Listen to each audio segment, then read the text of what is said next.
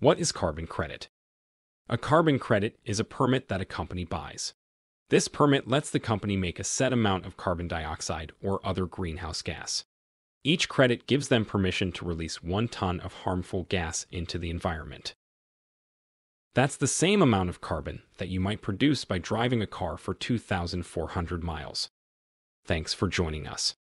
Consider following Dynamic Earth Learning for more Earth science, conservation, and sustainability topics.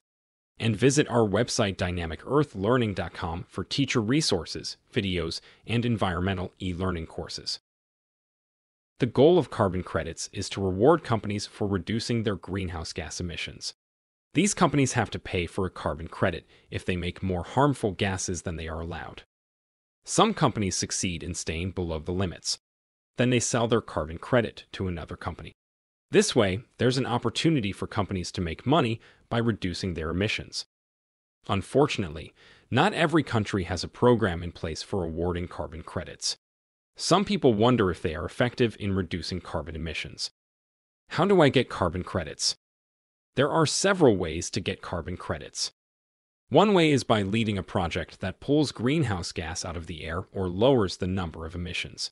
You earn one carbon credit by destroying or preventing one ton of greenhouse gas emissions. Examples of such projects are training people in the Amazon on how to save the rainforest or protecting forests from logging. You can also buy carbon credits directly from a safe marketplace, such as Native Energy, TerraPass, or South Pole. How much is carbon credit worth? The cost of a carbon credit differs depending on what kind of project you're doing. In general, their value goes up with time. For example, in 2019, it cost $4.33 to buy forest and land use credits. By 2021, the price was $4.73 per credit. Part of the reason for the higher price is that fewer carbon credits are available over time.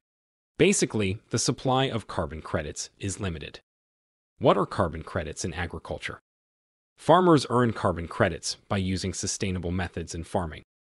One example is planting cover crops. These are crops that slow down the loss of soil and make the soil healthier. Another sustainable practice is to lessen the amount of tilling.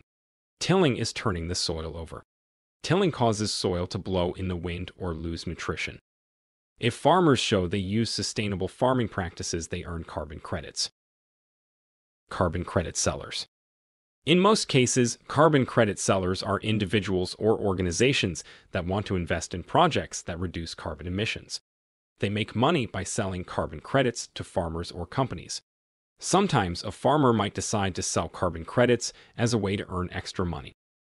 In addition, companies may opt to sell carbon credits to customers who want to reduce their carbon footprint. Carbon credit investors carbon credits keep increasing in value. So, there is an opportunity to make a profit by investing in them. Individuals can start investment funds for this purpose. They can also invest in companies that trade carbon credits. Some companies include Microsoft or Shell. Some companies use carbon credits to reduce emissions. Others trade them to make money. Overall, carbon credits are an interesting way to earn money and help the environment at the same time. Thanks for joining us. Consider following Dynamic Earth Learning for more Earth science, conservation, and sustainability topics.